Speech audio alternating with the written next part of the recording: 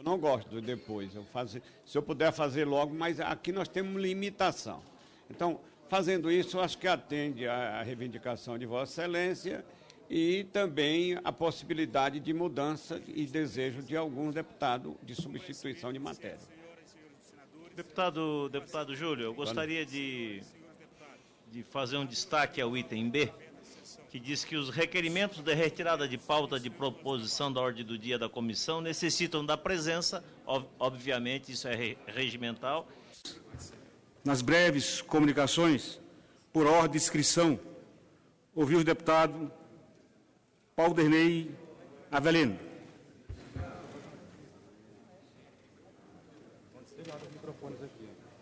Romero. Chegou, Renan. Presidente, tem como você marcar a presença do senhor como presidente?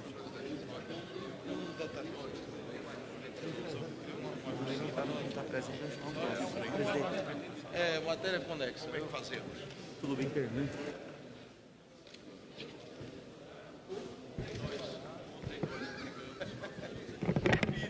Com a palavra, deputado. Presidente, pela ordem. Apenas, presidente, para registrar algo, nós temos tido aqui uma prática que não é prevista no regimento, de aguardar meia hora da convocação, portanto, a convocação era para as 11, aguarda-se meia hora, que é justamente a meia hora para viabilizar o quórum. Depois que se aguarda meia hora, usa-se o argumento que a partir daí vai se aguardar mais meia hora. Eu estou registrando para que, inclusive, isso fique como uma questão de ordem de que não está se respeitando o regimento interno. Eu não quero polemizar, apenas registrar a questão de ordem de que, no meu entendimento, é claro o regimento de que o horário marcado para a reunião, ela se inicia. Se não houver quórum do horário marcado, conta-se mais 30 minutos para verificar o quórum de abertura. Quórum esse que não existe agora em número suficiente de senador, portanto, não poderia ser aberta essa sessão do Senado e ela teria que estar sujeita a uma nova convocação, porque a meia hora já se expirou, já se passou. Portanto, não haveria sessão do Congresso, ela seria às 11, já são 11h30, os 30 minutos de tolerância já foram dados e não há quórum suficiente. No entanto, eu registro com Vossa Excelência um pedido de que abra o painel para que pelo menos daqui meia hora se verifique se há quórum ou não. Mas que fique registrado que nós comércio também de maneira é, plena e por escrito essa questão de ordem, porque esse congresso não pode ser um congresso fantasma que marca para as 11, o regimento prevê 30 minutos de tolerância para dar quórum. Nós estamos exatamente às 11 horas e 31 minutos e não há quórum. Portanto, o regimento já não está sendo respeitado. Mas peço a Vossa Excelência que abra o painel, por gentileza. Fica. Tem as duas casas, estão presentes, temos um terço. Portanto, há número regimental para iniciarmos os nossos trabalhos e recolhemos a expressão da Sua Excelência. Deputado Vanderlei Magrez. Breves comunicações. Ausente, Sua Excelência. Deputado Marcos Pestana, PSDB de Minas Gerais. Solicito a Vossa Excelência a abertura do painel, presidente. Não há como cumprir o regimento e verificar o quórum daqui. Termina a abertura do painel.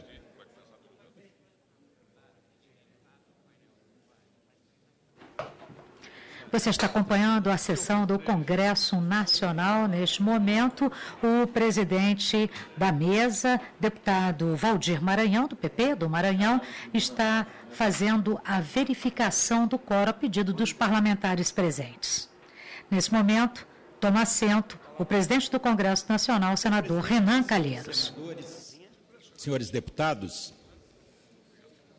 eu gostaria de sugerir àqueles que gostam de cinema o filme russo que concorreu a melhor filme estrangeiro, Leviatã, que traduz muito bem na Rússia de Putin o peso e a mão forte do Estado na vida do cidadão. A questão da carga tributária, onde está embutida a questão do imposto de renda, define o tamanho do Estado e o grau de participação na renda da sociedade do setor público. Índices de correção não devem ser arbitrários. O senador Renan Calheiros foi líder estudantil, teve um irmão presidente da Uni, e eu me recordo de um congresso da Uni, onde nós discutíamos o reajuste das mensalidades das escolas particulares. Alguns setores defendiam o congelamento, o PPS, então, o Partido Comunista Brasileiro, defendia o reajuste pelo INPC, e a minha corrente, na época, defendia 35%. E aí eu me fui perguntar por que 35%. E aí um dirigente me explicou que era um índice político.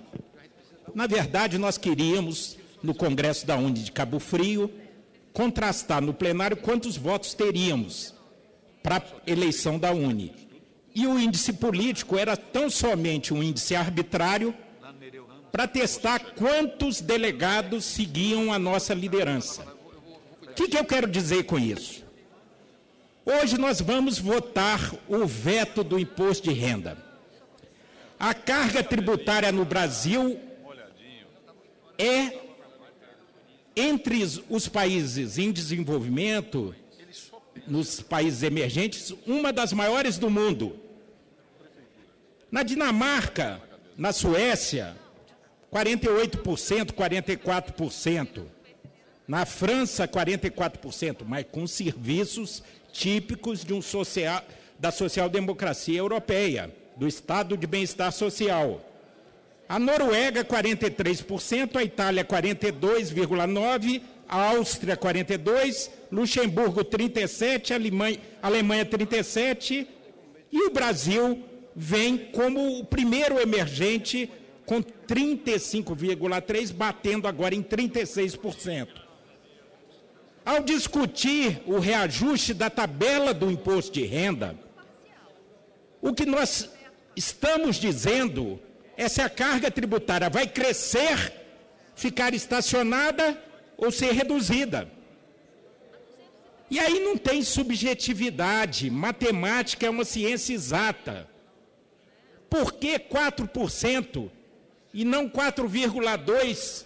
Por que tabela progressiva discriminando a classe média e os trabalhadores da elite operária que pagam imposto de renda, por que estabelecer 4, 3, 2,5, 4,2? Não, a proposta do Congresso tem fundamento, tem consistência, porque corrige pelo índice oficial da inflação.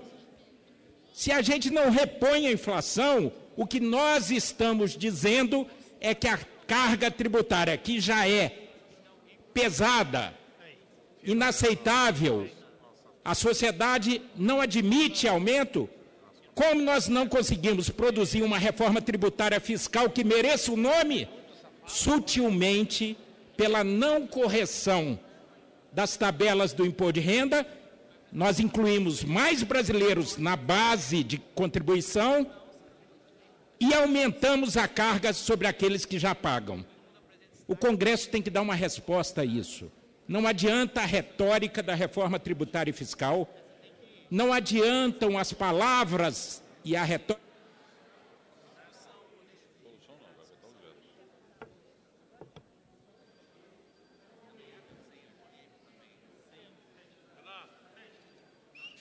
Para concluir, não adianta a retórica radicalizada se a intenção vai para um lado e o gesto vai para outro. Defender a sociedade, defender o contribuinte, defender o trabalhador que paga imposto de renda e a classe média, é defender a correção pelo índice de inflação.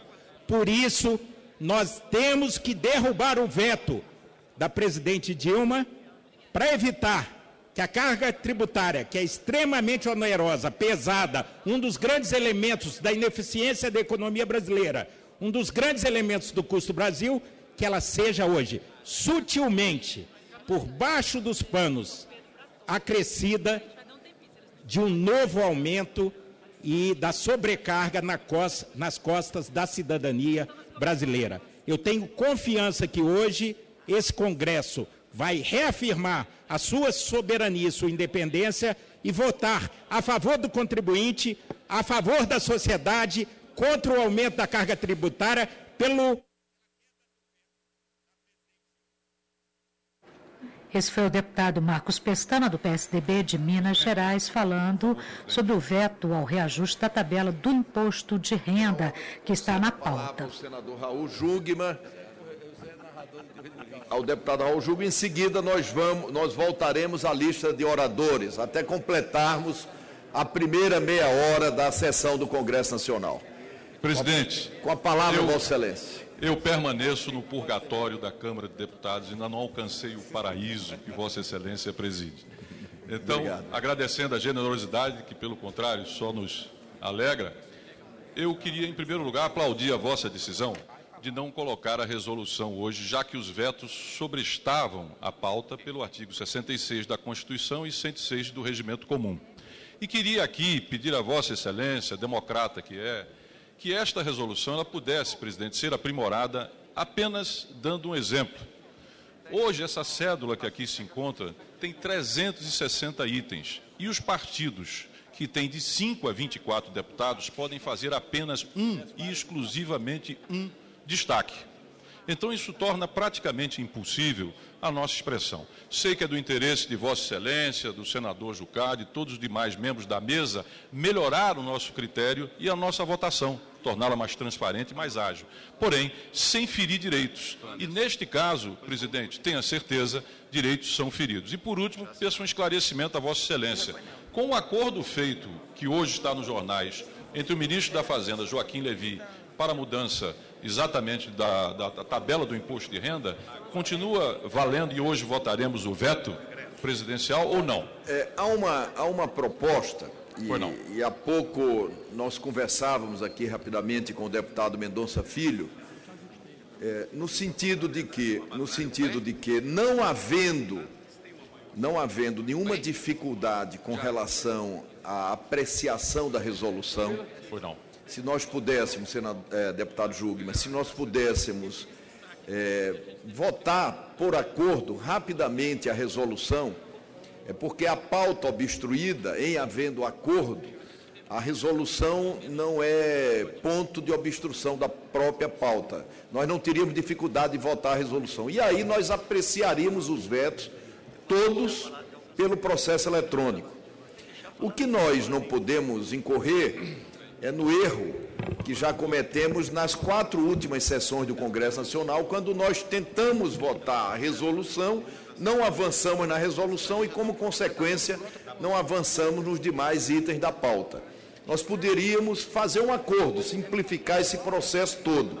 Nós votaríamos rapidamente a resolução. Pela ordem, presidente. Eu darei a palavra a Vossa Excelência. Nós votaríamos pela ordem a resolução em seguida, nós votaríamos eletronicamente os demais vetos, destacados, todos que, que fossem destacados sem problema nenhum. Primeiro, nós dali, daríamos celeridade ao processo de apreciação dos vetos. É, segundo, nós teríamos o resultado imediatamente, o que nos permitiria retomar a sessão do Congresso Nacional às 18 horas para votarmos o orçamento da União. Presidente, É uma sugestão de encaminhamento que Claro. eu faço ao deputado Jungmann. eu observo, eu observo o seguinte, com esse texto, presidente, pelo menos do nosso ponto de vista, falo como vice-líder da minoria, não é possível fechar um acordo. Pelo motivo que eu aqui disse. Além de termos, além de termos, no caso, o impedimento do regimento inconstitucional, porque a pauta está sobrestada pelos vetos e nenhuma outra deliberação pode ser votada, então nós só poderíamos fazê-lo mediante acordo. Eu lamento, mas com esse texto não é possível, presidente. Embora seja o nosso interesse em atender o seu pedido, mas não é possível este acordo, não é possível É votar o- com esse texto. É ok? que o, é que o Supremo entendeu que a resolução, por exemplo, não, não é obstada pelos vetos, pelo trancamento da pauta.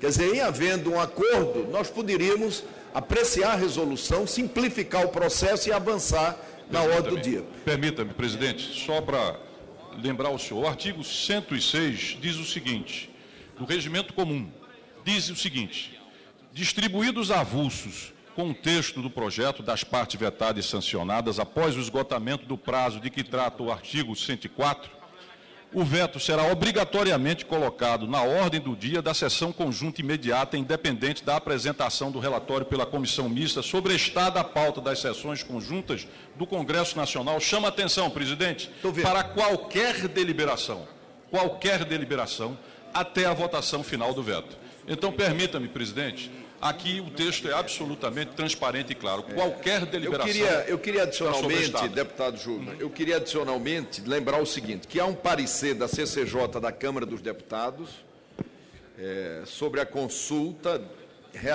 sem número realizada em 1990, referente à votação dos vetos. E há um acórdão do Supremo que diz que, que é o caso de, em sendo a, a de que, de que, de que a resolução, não cabe veto à resolução, a resolução não seria prejudicada, por isso que é importante que haja um acordo em função do trancamento da pauta para apreciação de veto. Só para esclarecer, presidente, o regimento comum, a alteração dele é posterior a esses outros dados que o senhor colocou. Então, me permita, tendo o mesmo interesse de Vossa Excelência, do senador Romero Jucá, de agilizar e dar transparência, mas o texto é o regimento comum e a ele não pode se sobrepor uma decisão, no caso, da CCJ da Câmara de Deputados. Me permita, deixando bem claro a Vossa Excelência, nós queremos sim, mas com esse texto nós vamos ter que voltar ao veto, senhor presidente, pelo menos assim eu entendo como falei Não, aqui. eu queria dizer para. Vossa Excelência que Vossa Excelência tem razão. É, nós temos entendimentos e já votamos, é, apesar da pauta trancada em função desse acordo do Congresso Nacional, mas é evidente que tem que preencher a preliminar de que há um acordo para que isso possa ser levado Presidente. adiante. E pelo que nós temos, é, deputado Paulo Dernei e deputado Mendonça Filho. Senhor presidente, é, o relator, senador Romero Jucá, diligentemente, enquanto eu pedi a palavra a Vossa Excelência, o relator, senador Romero Jucá, veio até a mim dar as explicações que nós estávamos precisando. Creio que a resolução atende aos parlamentares da oposição e atende ao Congresso Nacional, sobretudo, porque as correções foram feitas, as proposições que nós fizemos foram acatadas e entendo que essa proposta de resolução que o relator traz, acho que atende ao conjunto dos partidos.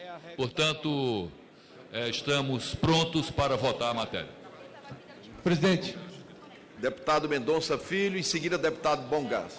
Bom, presidente, eu quero aqui manifestar a posição do nosso partido na Câmara, dizer que o projeto de resolução, diferentemente da última sessão do Congresso Nacional, que foi reelaborado pelo relator, o senador Romero Jucá, atende a nossa eh, impressão, a nossa posição e, sendo assim, nós estamos dispostos a votar o projeto de resolução como está estabelecido. Aliás, ele vai ao encontro daquilo que, segundo o presidente da Câmara, foi acordado entre ele, o deputado Eduardo Cunha, e Vossa Excelência. E a gente teria assegurado, dentro desta proporcionali- proporcionalidade de número de parlamentares, o direito de destacar um veto para que este veto fosse debatido por dois senadores contra, dois senadores a favor, dois deputados contra e dois deputados a favor com relação à matéria destacada. E nós, na Câmara, entendemos que devemos discutir de forma em separado o veto que trata da correção da tabela do imposto de renda. Então, eu sugiro a Vossa Excelência, e se porventura o PPS tiver entendimento, que a gente possa aprovar o relatório do projeto de resolução que foi elaborado pelo, pelo senador Jucá, que guarda, eu diria, é, similitude com a regra estabelecida na Câmara, e na sequência a gente vota o conjunto dos vetos de forma é, na cédula de votação, que será apurada eletronicamente, e depois, na sequência, todos os vetos destacados, inclusive o veto destacado relativo à correção da tabela do imposto de renda. Se esse for o entendimento, a gente fica aí em condições de apreciar as matérias que estão na pauta do Congresso.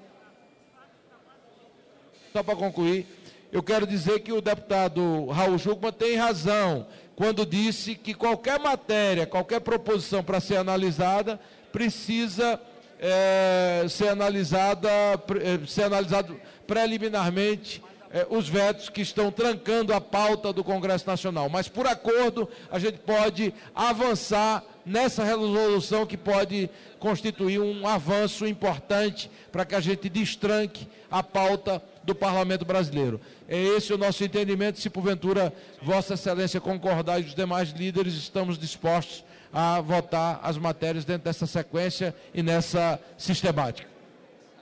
Senhor presidente, presidente. Concordo. Presidente Renan. Em gênero, número e grau. Senador, é, deputado Cibá, só um segundo, só um segundo. Eu concordo, eu queria dizer, eu queria dizer ao deputado Mendonça Filho que esse acordo pode ser feito. Eu rapidamente responderia a questão de ordem que foi levantada pelo deputado Jugman. Eu rapidamente, Jugman, Jugman, Jugman, eu rapidamente responderia a questão de ordem que foi levantada por Vossa Excelência, é, num acordo para que nós votássemos, já que o o conteúdo foi pacificado, a, a resolução. Em seguida, nós votaríamos simbolicamente a resolução e passaríamos a apreciação dos vetos eletronicamente. Eu acho que caracterizaria um avanço, é evidente que, que é um avanço, mas era preciso que nós contássemos com a concordância dos líderes. Correto, presidente, nós estamos avançando nessa direção. Eu pediria que o senador Jucá, senador, Senador Jucá. Senador. Senador Jucá, eu pediria para nos ajudar a esclarecer, inclusive na construção dessa solução, que o senador Jucá nos dissesse como ficaria a emenda do Palderney e o que ele estaria acrescentando no sentido de dobrar o número de emendas quando nós tivéssemos também mais de oito dispositivos. Por favor, é um esclarecimento no sentido de construir um consenso, presidente. É... Caminhar na sua direção. Com a palavra o senador Romero Jucá. Presidente. Por dois minutos. Presidente. Dois minutos. Presidente. Serei, serei rápido, senhor presidente. Eu gostaria da atenção dos senhores e senhoras parlamentares para registrar o seguinte: nós procuramos um entendimento com todos os partidos e construímos aqui um ajuste em cima da proposta do senador Jorge Viana. O que é que basicamente avançou da proposta do senador Jorge Viana? Primeiro, no artigo 1 diz que até o início da ordem do dia poderá ser apresentado destaque de dispositivos para apreciação no painel eletrônico. Foi colocado pela oposição, e nós estamos acatando, que nós estamos agregando ao termo dispositivo, portanto, poderá ser apresentado destaque de dispositivos individuais ou coletivos que funcionarão como único destaque. Porque às vezes os assuntos são conexos, então dispositivos individuais ou conexos poderão ser destacados e votados globalmente dentro do espírito do painel, da forma como o regimento está colocando. Essa é a primeira questão. A outra questão é que nós voltamos ao, ao tabelamento do número de destaques ao regimento da Câmara, que começa com 5 a 24 deputados, um destaque por cédula. E a partir daí seguimos o regimento da Câmara. Nós colocamos também um dispositivo que é importante, que às vezes juntam muitos projetos de lei. Então, dentro de um entendimento, né, quando tem muitos projetos de lei, eventualmente um ou dois destaques caberiam ao partido, seriam poucos. Então, nós colocamos o dispositivo dizendo o seguinte: quando a cédula contiver mais de oito projetos de lei ou mais de 80 dispositivos, será admitido quantitativo de destaques do dobro do previsto, ou seja, dobra a quantidade dos partidos a apresentação de destaques nessas questões. Só um esclarecimento, senador. Isso quer dizer que a cada novos 80 dispositivos dobra ou apenas uma vez? Por favor, esclareça isso. Sem som lá, presidente. Eu estou sem som, senhor presidente. Quando nós formos votar uma, uma cédula, porque isso será, em tese, inicialmente, votado na cédula eletrônica.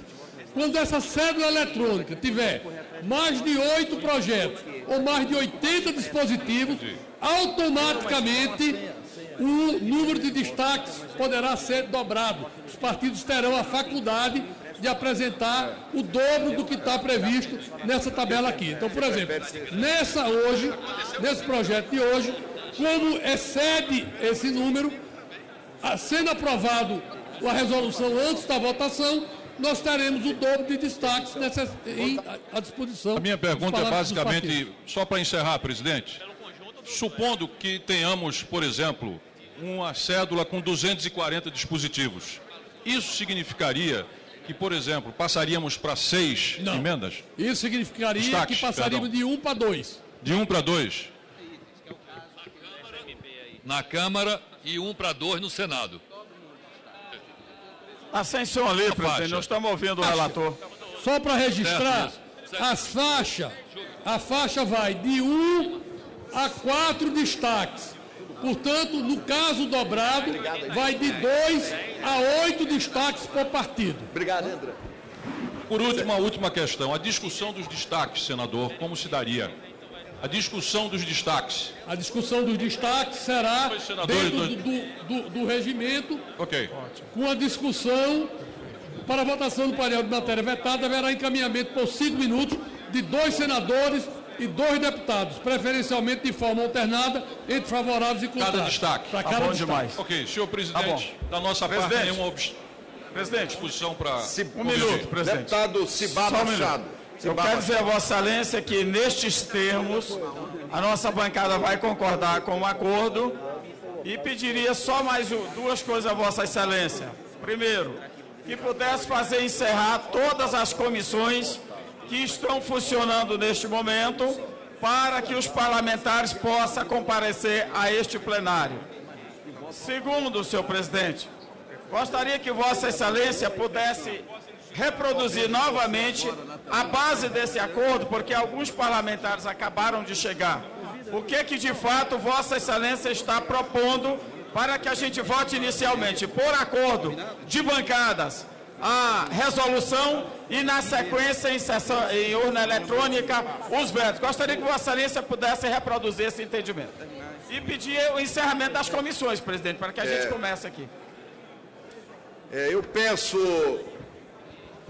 aos presidentes das comissões que continuam funcionando, o, o regimento do Congresso Nacional, ele impede o funcionamento do Congresso Nacional e simultaneamente das comissões. Por isso pedimos mais uma vez o encerramento dos trabalhos das comissões permanentes, tanto da Câmara dos Deputados quanto do Senado Federal. Senador Renan, pelo PSDB, eu Vossa gostaria Excelência. de fazer, nobre senador Romero Jucá e a Vossa Excelência, uma ponderação com relação a esta proposta, que obviamente deve ser objeto de um acordo para que possa prosperar, da resolução número 1.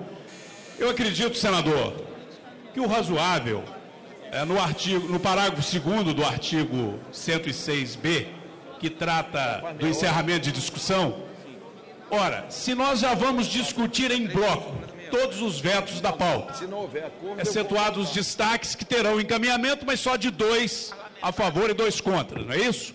Pois bem, se a discussão será em bloco e nós teremos, e nós sabemos disso, é, períodos em que não haja muita necessidade de reunião do Congresso, o acúmulo por algumas, alguns meses, embora já haja resolução de que mensalmente a gente se reúna. Então nós teremos situações com dezenas de dispositivos vetados. Bom, mais de 80 dispositivos dobra. Mas o que eu quero argumentar, senador, é que já há um procedimento na casa, já faz parte do regimento, que para que se encerre a discussão, impedindo, portanto, que outros presidente, para concluir, que haja um requerimento de encerramento de discussão, presidente, uh, senador. Eu acho isso razoável pelo seguinte: veja bem, nós teremos fatalmente, nós teremos fatalmente seis, sete, oito deputados inscritos, cinco, seis senadores. Nós vamos criar um constrangimento para o próprio presidente do Congresso de caçar a palavra numa discussão relevante e que pode às vezes interessar o próprio governo, é que aprofunde a discussão, que se esclareça melhor a sua base né, da importância desse ou daquele posicionamento. Portanto, eu insisto com Vossa Excelência para que tenhamos acordo, não vai alterar praticamente nada. É que nós tenhamos um requerimento, ou seja, o artigo ficaria assim: após terem discutido quatro senadores, seis deputados, há requerimento de liderança, encerra-se a discussão, certo? Porque aí nós teremos, de fato, um processo democrático na votação do veto. Eu acho que não faz sentido só por causa de votar um de um acordo que o PSDB julga extremamente importante é, essa ponderação que eu estou fazendo. Presidente, só um esclarecimento. Eu queria só, antes de qualquer coisa, dizer que não há nenhuma hipótese de nós avançarmos nessa discussão com relação à resolução se não houver acordo. A informação que nos passaram é de que haveria acordo. Não havendo acordo, não havendo acordo, nós estamos fazendo uma discussão pela quarta sessão do Congresso Nacional, cuja consequência nós já conhecemos, é impedir, ao final e ao cabo, a apreciação dos vetos. Então nós vamos passar a discussão dos vetos. Vamos deixar para uma Presidente. próxima sessão a discussão do projeto de resolução. Presidente. Presidente. Não, é, deputado, deputado Mendonça Filho, é que não há acordo. Se não há acordo, nós Presidente, não temos como priorizar Presidente, essa... nos dê cinco minutos. Suspenda a sessão cinco minutos para a gente tentar aqui Presidente. achar um acordo. É razoável. É Presidente razoável, Renan. presidente. Presidente Renan. Permita é... tentar um acordo. Então nós vamos fazer o seguinte, eu, eu, eu não vou suspender a sessão por cinco minutos, mas eu esperarei pelo menos cinco minutos, okay. concedendo paralelamente a palavra aos deputados e senadores. Ok. Pela ordem de inscrição, eu, eu eu concedo a, concedo a palavra ao deputado Celso Russumano. Senhor presidente, eu gostaria de fazer uma consideração pelo PRB, pelo bloco, sobre o seguinte. Nós temos as cédulas já prontas para serem votadas. Nada contra votar a resolução, senhor presidente. Nós somos favoráveis a votar a resolução e passar a votar eletronicamente. O problema é que nós teríamos que preparar as cédulas eletrônicas, isso vai demandar tempo. Então, a minha proposta era a seguinte: faríamos a votação dos vetos, até porque em cada destaque que nós formos é, é, votar separado, nós vamos ter várias votações no painel. Ou seja, nesse horário, que é o horário de almoço, nós vamos ter que aguardar que os, os parlamentares, tanto os senadores quanto os deputados, venham ao plenário. Então nós vamos ter dificuldade para votar. Então a minha, a minha proposta seria, faríamos a votação para o eletrônico. Nessa primeira votação, votaríamos, já que nós temos as cédulas já todas preenchidas aqui no plenário, votaríamos pelo processo manual e a partir da próxima poderíamos votar eletronicamente para evitar essa confusão. Obrigado, presidente. Senhor presidente. Senhor presidente. Pela ordem, deputado Ricardo Barro. Bandeira. Bora, presidente. Presidente, vamos? Ainda vou dar a palavra ao deputado Paulo Teixeira. Com a palavra ao deputado Paulo Teixeira. Senhor presidente, senhores parlamentares, venho a essa tribuna para debater a conjuntura nacional. O povo brasileiro elegeu legitimamente, por maioria, segundo as regras constitucionais, em eleições limpas, a presidenta Dilma Rousseff, do Partido dos Trabalhadores, de uma coligação de partidos, que foi a disputa com um programa de mudanças e um programa aceito pela população brasileira. Na véspera da eleição, uma das revistas soltou uma calúnia contra a presidenta da República numa tentativa de fortalecer um movimento de golpe. Calúnia essa que se mostrou agora comprovada, porque não há qualquer acusação à presidenta Dilma Rousseff e ao ex-presidente Luiz Inácio Lula da Silva nas investigações em curso no Brasil. Eleita, um dos partidos da oposição pediu recontagem dos votos. E na recontagem dos votos, nada mostrou que pudesse Sobre o texto da resolução. diminuir o processo eleitoral. Depois disso, Ainda não. os partidos de oposição, aqueles que há anos foram às ruas pela direta já, hoje namoram com a direita, a direita nesse país. Direita que quer fazer a ruptura democrática, direita que quer o golpe, direita que não tem proposta para esse país. Querem criar um impasse nesse país ressuscitam Carlos Lacerda, que dizia: não deixe que ela seja candidata, como faziam com Getúlio. Se for candidato, não deixe que ele se eleja. Se eleger, não deixe que ele tome posse. Se tomar posse, não deixe que ele governe. Fizeram com Getúlio Vargas, fizeram com João Goulart, e alguns democratas que há 30 anos atrás se surgiam contra o governo militar, hoje dizem que querem sangrar a presidenta da República. Nós vamos governar esse país para continuar a gerar emprego. Nós estamos governando esse país para distribuir renda. Nós estamos governando esse país para levar os jovens para a universidade. Nós estamos governando esse país para levar mais médicos ao povo pobre. Como disse Bresser Pereira, eles têm ódio do PT porque o PT defende os pobres. Como disse Veríssimo e Kifuri, eles têm ódio das mudanças que estão nesse país. Esse final de semana teve um protesto de panelas. Não as panelas vazias, daqueles que têm as panelas cheias mas eles podem protestar que é da democracia.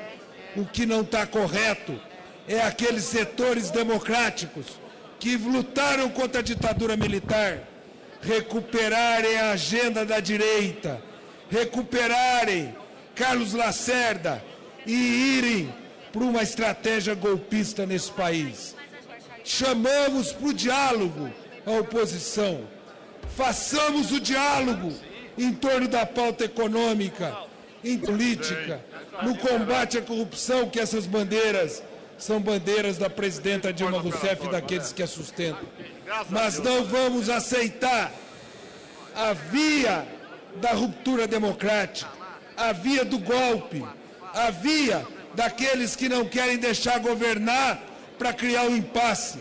Não sangrarão a presidenta Dilma Rousseff o povo que votou nesta presidenta no dia 5 de outubro e depois no dia 26 de outubro Mentindo. estará nas ruas na defesa da presidenta, mas não é no impasse que nós vamos governar esse país. Nós governaremos esse país no debate elevado de propostas políticas que não vejo na oposição à existência delas no debate elevado do aprofundamento democrático e no debate elevado da, do combate à corrupção e da punição dos seus responsáveis. Por isso, venho aqui dizendo: vamos ao debate político. Senhor presidente. De alto nível no nosso país. Senhor presidente. Para continuar aprofundando a democracia brasileira. Muito obrigado. Senhor presidente, pela ordem, senhor presidente. Senhor presidente, na linha do entendimento. Senhor presidente, Domingos sabe, deputado Domingos Sávio, rapidamente. pra- Senhor presidente, rapidamente, momento oportuno, nós vamos nos dirigir ao deputado Paulo, presidente, mas agora, preocupado com o bom andamento da sessão, ouvindo a experiência do senador Aloysio Nunes, nós entendemos que, em alguns momentos, às vezes, o ótimo é inimigo do bom. Houve avanços né, e nós acreditamos que é hora eh, de construir entendimento. Portanto, embora eu te- esteja convicto que sempre que pudermos ter uma discussão mais ampla ganhe o país, eu vou retirar minha objeção eh, com as alterações do relator, já propostas de dobrar né, as possibilidades de destaque quando há um número maior de vetos e, com isso, construímos o entendimento para que Vossa Excelência possa dar prosseguimento na pauta senador Renan planejado por acordo. É, deputado Guimarães, com a palavra, Vossa Senhor Excelência. presidente, primeira questão de ordem. Há 15 minutos atrás, Vossa Excelência mandou suspender, determinou a suspensão de todas as comissões. A Câmara tem comissão se reunindo e deliberando. Qual é a minha questão de ordem? Vossa Excelência determine a suspensão de todas as decisões que foram tomadas após o comunicado feito por Vossa Excelência para ser constado em ata. É, qualquer deliberação simultânea com o funcionamento do Congresso Nacional, ela é nula de pleno direito. Segunda questão, senhor presidente, é para fazer um apelo aqui a, a esta casa e à oposição que votemos as matérias as quais foram incluídas na sessão do Congresso Nacional. Vossa Excelência lembrou bem, é a quarta vez que a gente discute a tal resolução. Resolução essa que foi a oposição que começou a discutir que as duas mesas das casas, por unanimidade, estabeleceram um rito para a votação de vetos. Ou seja, nós não podemos ficar aqui mais uma vez o dia todo sem votação das matérias objeto da convocação do Congresso. Terceiro, senhor presidente, se não tem acordo, imediatamente, porque o Congresso está preparado, vamos votar na cédula. É isso que nós temos que fazer para não interditar. Tem, não, não tem como não ser diferente. Não tem A como ser cédula eu não diferente. voto. Eu quero, eu quero pedir aos senadores e senadoras que se encontram no plenário que, por favor, façam os registros de suas presenças. Nós temos já 35 senhoras e senhores senadores registrados. Eu estou vendo pelo menos mais uns seis ou sete senadores e senadoras que não registraram as presenças. É importante que o façam para que nós possamos começar presidente, imediatamente iniciar- a ordem do dia. Podemos iniciar a Senhor discussão presidente. da matéria, presidente, imediatamente com a ordem do dia. Senhor presidente. Rubem Bueno, com a palavra, Vossa Excelência. Eu estou ouvindo aqui no plenário, estou pedindo aqui para falar em nome da bancada. o deputado Raul Jugman teve que se ausentar e, e dizer que este acordo é um acordo que traz racionalidade e estabelece democraticamente o debate plenário. O que queria o governo, é bom que se diga, o que queria o governo era impor uma resolução para evitar o debate. Nós queremos debater a tabela do imposto de renda, senão já teria sido goela abaixo. E hoje o governo já mudou, voltou atrás. Então vamos com calma. Aqui ninguém vai fazer o papel de meramente ser um desconhecedor do regimento, sabendo que o debate é fundamental para que, com conhecimento de causa, possamos votar de acordo com aquilo que temos que votar. E não votar goela abaixo como queria a resolução anteriormente proposta. Por isso, este acordo é um acordo bom para o Congresso Nacional, especialmente para a votação de vetos. Senador Caiado. Senhor presidente, essa matéria proposta hoje, ela sem dúvida nenhuma é um grande avanço em relação àquelas cédulas que eram distribuídas anteriormente. É inaceitável aquela prática. A proposta apresentada pelo senador Romero Jucá, ela vem exatamente dar o quê? A oportunidade para que nós, qualquer partido de oposição da base do governo, possa destacar uma matéria. E com acréscimo ainda, essa matéria, se ela tiver mais de 80 itens, ela terá direito a dois destaques. E todas as matérias correlatas estarão incluídas nos destaques. E além do mais, a matéria não vai passar sem conhecimento da casa. Nós vamos poder encaminhar a votação de cada um desses destaques, o que é fundamental para o esclarecimento e o conhecimento do tema para os nobres colegas senadores e deputados.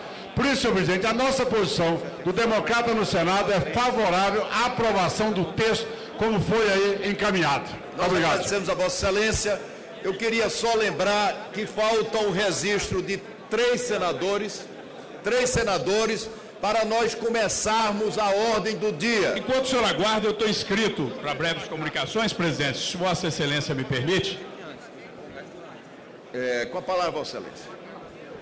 Porra, caralho, velho. Arnaldo Faria do Estado. Tá comigo. Pô, tô rolando Vossa Excelência pode iniciar a ordem do dia Senhor com a presidente, discussão do item 1. senhor presidente, colegas parlamentares. Senhor presidente, Acho que é um avanço, como acaba de citar o senador Caiado, é, aprovarmos esse projeto de resolução, estabelecemos regras claras para apreciação do veto. Veto é uma das etapas essenciais do processo legislativo, a sua apreciação. A ausência de uma apreciação de maneira democrática é a submissão completa do parlamento. É, após, às vezes, mais de uma década discutindo uma matéria, trabalhando a matéria com a sociedade, construindo um projeto que ganhe, ganhe o apoiamento da maioria e aprovando esse projeto na Câmara e no Senado por uma decisão uh, unilateral, uma decisão uh, apenas de quem preside o país que pese o respeito que se deve sempre ter, uh, apesar das discordâncias profundas que temos hoje, é? o respeito que se deve ter à independência dos poderes nós entendemos que é inaceitável que um veto possa ser é, mantido ou derrubado sem uma discussão ampla, clara e feita com destaques. Hoje, por exemplo, haveremos de debater aqui neste plenário aqueles que querem aumentar o imposto de renda e aqueles que não querem. Na prática é isso. Não vamos tapar o sol com a peneira. Quem quer aumentar o imposto de renda, sacrificando mais o trabalhador, aquele que paga, descontando diretamente na fonte, ou que faz o recolhimento no momento apropriado, ou aquele que entende que não é justo aumentar mais ainda o imposto de renda. Porque se você não corrige a tabela pela inflação, como a própria presidente prometeu na campanha, eu vou corrigir pela inflação. Tivemos uma inflação de 6,5, aprovamos a lei, ela vetou. Não, não derrubar esse veto é concordar com o aumento. Mas, presidente, eu não posso deixar de me dirigir nesses minutos que tenho para fazer as comunicações em nome do meu partido, do PSDB, e repudiar esse tipo de comportamento de deputado que quer tapar o sol com a peneira, ou de lideranças do PT e do governo, que insistem com esta conversa de que o povo brasileiro, quem não é nenhum partido político, não é oposição, é o povo brasileiro. São cidadãos, cidadãs de todo o país, de todas as classes sociais, que se manifestam nas redes sociais, que vão fazer panelaço de repúdio a mais uma sessão de mentira e de tortura, eu diria, com o povo brasileiro, protagonizada pela presidente Dilma, quando o povo brasileiro se manifesta e diz que não aceita tanta mentira, que não aceita mais tanta corrupção, que quer que saia fora né, do comando do país aquele que traiu a confiança do povo, povo brasileiro, aquele governo que disse uma coisa e fez exatamente outra, aí é terceiro turno. É como se, terminada a eleição, a oposição e aqueles que não concordam com os caminhos absurdos que estão sendo tomados tivessem que ficar calados quatro anos. Não podemos nem sequer discordar especialmente quando o país assiste de maneira assombrada o que vimos ontem aqui. Já sabíamos, mas ontem vimos de viva voz. Vimos ontem né, o senhor Pedro Barusco vir aqui e dizer de viva voz, mesmo sendo pressionado por alguns senadores e deputados do PT, tentando ver se ele vacilava, ele disse claramente: olha, a partir de 2003, de 2004, implantou-se um sistema planejado, orquestrado, implantou-se uma verdadeira quadrilha na Petrobras. Virou uma rotina, virou algo como regra do jogo, roubar o dinheiro público. Parte, eu, disse ele, eu, Barusco, recebi, depositou-se no exterior cerca de 100 milhões de dólares. Estou devolvendo. A Polícia Federal está acompanhando o dinheiro, está vindo para o Brasil, sendo repatriado o dinheiro do roubo. Mas o dobro disso, cerca de 200 milhões de dólares, foi entregue ao senhor Vacari, ao tesoureiro do PT. O dinheiro roubado dos brasileiros para financiar o PT no processo de enganação aos brasileiros. Agora, dizer isso, que não foi eu quem disse, é o Barusco, nomeado pela Dilma, que veio e confessou. Isso é terceiro turno. Isso é não ter se conformado com o resultado da eleição, não. Isso é defesa do povo brasileiro. Isso é defesa da verdade. Por isso que o povo vai para a rua. Não é porque este ou aquele partido de oposição está dizendo para ir, não. É porque o povo não aguenta mais e tem que fazer isso sim. Tem que se manifestar. Porque senão a democracia é de mentirinha. E aqui no Congresso, nós temos que manifestar também. Temos que dizer não a este veto que aumenta o imposto. Senhor presidente, É, será. Nós vamos ouvir pela ordem o deputado Arnaldo Faria de Sá. Em seguida, nós vamos começar a ordem do dia. Com a palavra, Senador senador. Renan Calheiro, presidente do Congresso, uma informação de Vossa Excelência. eh, quando serão instaladas as comissões especiais da 664 e da 665, a que trata da alteração das pensões e da modificação do seguro-desemprego, e uma informação a Vossa Excelência.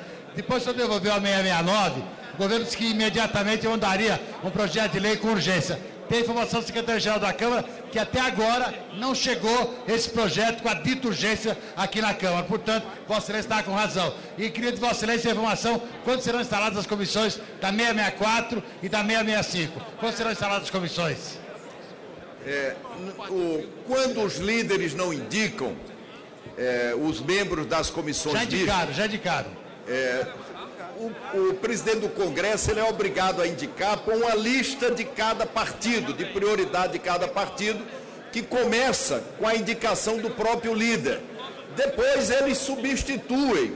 É fundamental que os partidos que não substituíram ainda os membros das comissões, das outras comissões das medidas provisórias, o façam rapidamente para que o mais idoso convoque a eleição do presidente e do vice-presidente. Presidente, já tem quórum, vamos iniciar a ordem do dia. Ordem do pelo dia. acordo, o projeto de resolução relatado pelo senador Ordem do Jucá. dia, ordem do dia. Projeto de resolução número 1 de 2015 do Congresso Nacional que altera o procedimento de apreciação dos vetos presidenciais.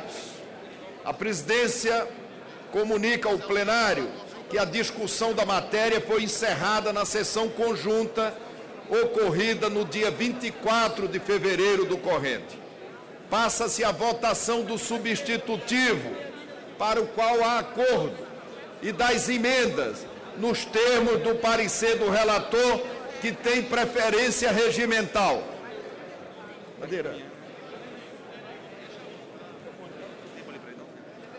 Seria prudente, senhor presidente, o relator eh, falar, relatar ou ler as modificações que ele introduziu.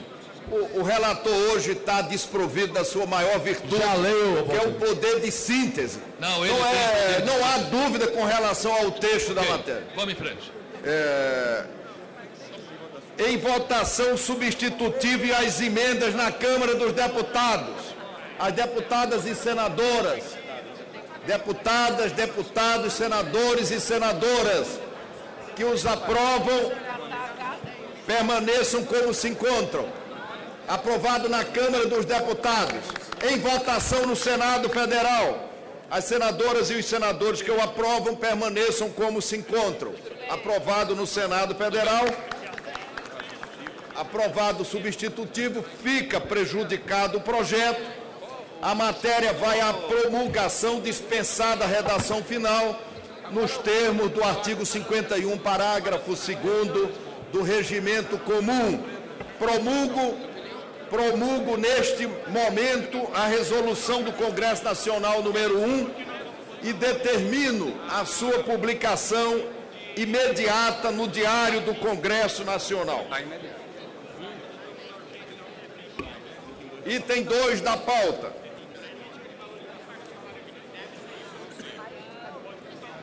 Presidente, presidente, só um esclarecimento. Agora com a promu- promulgação do. Presidente aqui.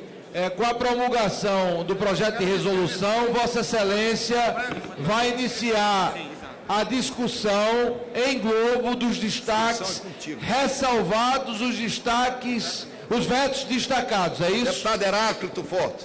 Senhor presidente. Presidente, presidente. Vossa Excelência já promulgou a resolução número 1? Já aprovou e já promulgou. Ok. Então, gostaria, em primeiro lugar, de. Deputado, deputado Mendonça, desculpa.